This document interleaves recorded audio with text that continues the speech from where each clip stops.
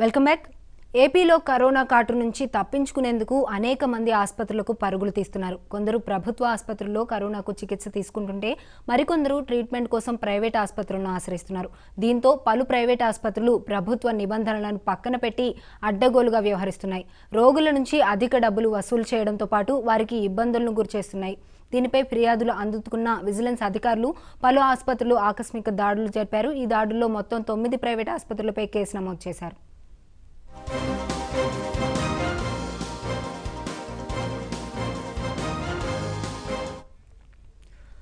రోగుల నుంచి అధిక ఛార్జీలు వసూలు చేస్తున్న ఏలూరులోని చైత్ర ఆసుపత్రిపై కేసు నమోదు చేశారు. అనంతపురం జిల్లాలో రోగుల వద్ద నుంచి అధిక ఛార్జీలు వసూలు చేస్తుండటంతో ఆశా ఆసుపత్రిపై కేసు నమోదైంది. విశాఖ ఎస్ఆర్ హాస్పిటల్ అనిల్ నీరుకొండ కూడా కేసులు నమోదయ్యాయి. విశాఖలోని రమ్య ఆసుపత్రి యాజమాన్యం అనుమతులు లేకుండా కోవిడ్ వైద్యం చేస్తున్నారని కేసు నమోదు చేశారు. విజయవాడ శ్రీరామ్ ఆసుపత్రిపైన కేసు నమోదైంది.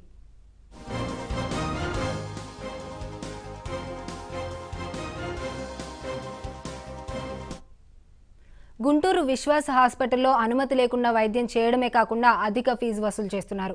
పీలేరు ప్రసాద్ హాస్పిటల్ యాజమాన్యం అధిక ఫీజు వసూలు ఆరోగ్యశ్రీ కింద వైద్యం చేయడం లేదు. ఇలా పలు రకాల కారణంగా ఈ ఆసుపత్రులపై అధికారులు కేసులు నమోదు చేశారు. ఈ రకంగా ఇప్పటి వరకు రాష్ట్రంలో ముప్పై ఏడు ప్రైవేట్ ఆసుపత్రులపై విజిలెన్స్ అధికారులు కేసు నమోదు చేసినట్లు అధికారులు తెలిపారు.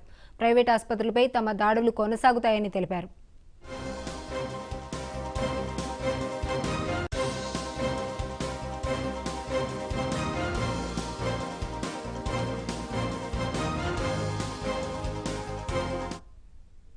విశాఖలోని ప్రైవేట్ ఆసుపత్రులపై తమ దాడులపైన కొనసాగుతాయని అధికారులు తెలిపారు. దీనికి సంబంధించి మరింత సమాచారాన్ని విశాఖపట్నం నుంచి మా ప్రతినిధి రాజేష్ మరింత క్రాంతి మరింత సమాచారం అందిస్తారు. క్రాంతి చెప్పండి.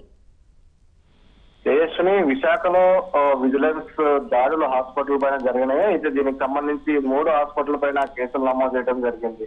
అయితే గతం ఏదైతే కోవిడ్ సెకండ్ వేవ్ ప్రారంభమైనప్పటి నుంచి కూడా ప్రజలు కొంత భయానకర పరిస్థితుల్లో కోవిడ్ సోకిన వారందరూ కూడా హాస్పిటల్కి వెళ్ళడం జరుగుతుంది. అయితే కొన్ని విపత్కర పరిస్థితులు అక్కడ హాస్పిటల్లో బెడ్లు దొరకపోవడం కానీ ఇతర అన్ని కూడా ఈ కాటాలన్నీ చేసుకుని అలసుగా తీసుకుని ప్రైవేట్ హాస్పిటల్లో దందా మొదలు పెట్టడం అయితే మనం అనేక వార్తలు మనం చూసాం. మహా లో కూడా ప్రచారం చేయడం కూడా జరిగింది. దానిలో భాగంగా ప్రస్తుతం ఇవన్నీ కూడా అరగట్టే విధంగా విజిలెన్స్ అధికారులు అయితే కొంత తనిఖీలు ప్రారంభించారు దాడులు ప్రారంభించారని చెప్పుకోవచ్చు. అయితే ఈ దాడులు కూడా పూర్తి స్థాయిలో చేయాలంటే కూడా ప్రజలు కోరుతున్న పరిస్థితి అయితే ఉంది. ఏదో తూపు మంత్రమైన దాడులు చేయడం కాకుండా ఖచ్చితంగా ఎవరైతే అవకతవకలు పాల్పడ్డారో అందరినీ కూడా హాస్పిటల్కి సంబంధించిన కోవిడ్ పర్మిషన్లు రద్దు చేయాలంటూ కూడా వారు డిమాండ్ చేస్తున్న పరిస్థితి అయితే ఉంది. విశాఖ జిల్లాలో నిన్న ఆ, మొత్తం మూడు హాస్పిటల్ పైన ఈ కరోనా చూపించడం జరిగింది. ఎస్ఆర్ ఆసుపత్రి రమ్య ఆసుపత్రి అదేవిధంగా సగర్ ఫాల్స్లో ఉన్న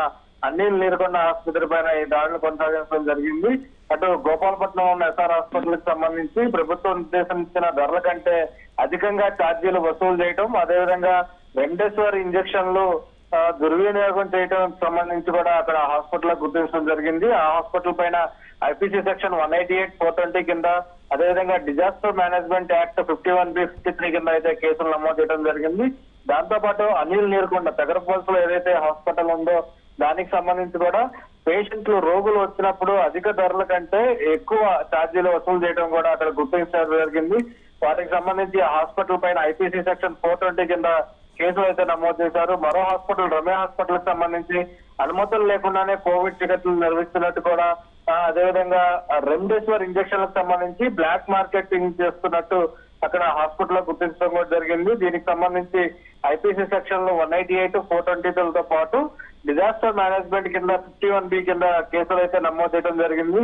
మొత్తంగా కరోనా పేరు చెప్పి ప్రజల్ని ఇప్పటికే భయపాతలు గురవుతున్న ప్రజల్ని ఈ రకమైన దోపిడీకి పాల్పడుతున్నారు. ఇప్పటికైనా సరే ఇలా దోపిడీకి పాల్పడిన హాస్పిటల్ యాజమాన్యాలకు సంబంధించి కఠినమైన చర్యలు తీసుకోవాలంటే కూడా ప్రజలు కోరుకున్న పరిస్థితి అయితే ఉంది. ఏదైతే ఇప్పుడు దాడులు కొనసాగుతున్నాయి అవన్నీ కూడా పూర్తి స్థాయిలో ఈ దాడులు కొనసాగాలి. ప్రజలకి ఒక భరోసా ఇచ్చేలాగా కూడా ఈ దాడులు ఉండాలంటూ కూడా ప్రజలు అయితే కోరుకున్న పరిస్థితి ఉంది.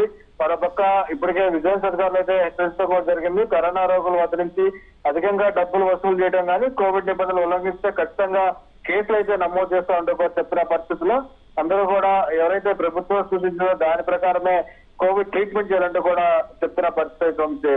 Okay right thank you Kranti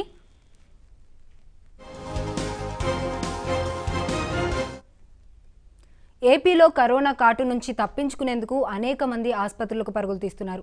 కొందరు ప్రభుత్వ ఆసుపత్రుల్లో కరోనాకు చికిత్స తీసుకుంటుంటే మరికొందరు ట్రీట్మెంట్ కోసం ప్రైవేట్ ఆసుపత్రులను ఆశ్రయిస్తున్నారు. దీంతో పలు ప్రైవేట్ ఆసుపత్రులు ప్రభుత్వ నిబంధనలను పక్కన పెట్టి అడ్డగోలుగా వ్యవహరిస్తున్నాయి. రోగుల నుంచి అధిక డబ్బులు వసూలు చేయడంతో పాటు వారికి ఇబ్బందులకు గురిచేస్తున్నాయి. దీనిపై ఫిర్యాదులు అందుకున్న విజిలెన్స్ అధికారులు పలు ఆసుపత్రులపై ఆకస్మిక దాడులు జరిపారు. ఈ దాడుల్లో మొత్తం తొమ్మిది ప్రైవేట్ ఆసుపత్రులపై కేసు నమోదు చేశారు.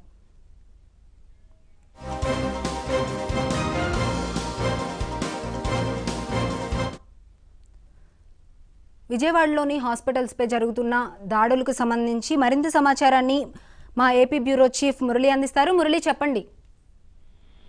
తేజస్సును కరోనా సెకండ్ వేవ్ దృష్టిలో పెట్టుకుని ఆంధ్రప్రదేశ్ వ్యాప్తంగా దాదాపుగా ఐదు వందల యాభై తొమ్మిది హాస్పిటల్లో చికిత్స అందించేందుకు ఏపీ ప్రభుత్వం అనుమతి ఇవ్వడం జరిగింది. అయితే కొన్ని కార్పొరేట్ హాస్పిటల్ ప్రభుత్వ నిబంధనలకు పూర్తిగా తొంగలోకి తొక్కి అనుమతులు లేకుండా కూడా వైద్యం చేస్తున్నట్టుగా సమాచారం అందుకున్నటువంటి విజిలెన్స్ అండ్ ఎన్ఫోర్స్మెంట్ అధికారులు రాష్ట్ర వ్యాప్తంగా దాదాపుగా కూడా ముప్పై ఐదు హాస్పిటల్స్ పై ఫిర్యాదులు వచ్చిన నేపథ్యంలో నిన్న తనిఖీలు నిర్వహించడం జరిగింది. ఇందులో తొమ్మిది హాస్పిటల్స్ పై ఇప్పటికే కఠిన చర్యలు తీసుకోవడం జరిగింది.